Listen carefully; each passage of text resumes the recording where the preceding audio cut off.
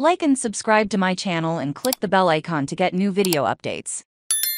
Why Shia LaBeouf isn't he in Indiana Jones and the Dial of Destiny Indiana Jones and Dial of Destiny director James Mangold discussed why the titular archaeologist's son isn't he in the new film. Speaking to Variety on the red carpet at the US premiere of Dial of Destiny, James Mangold spoke about why Shia LaBeouf's better-known Henry Jones 3 Dom Mutt Williams, who starred in 2008 Seconds Kingdom of the Crystal Skull, opposite Harrison Ford's Indiana Jones, is not appearing in the soon-to-be-released film. Simply put, Mangold feels Mutt had no place, even though he is a central character in the Indiana Jones series. I think my goal when I first started was to capture the wonderful energy between Indy and an intrepid female character he said. Mangold's quotes refer to the casting of Phoebe Waller-Bridge as Helena Shaw, Indy's goddaughter, whom Mangold previously credited as a key catalyst of Dial of Destiny. Helena plays Indy's partner in crime, rather than Mutt,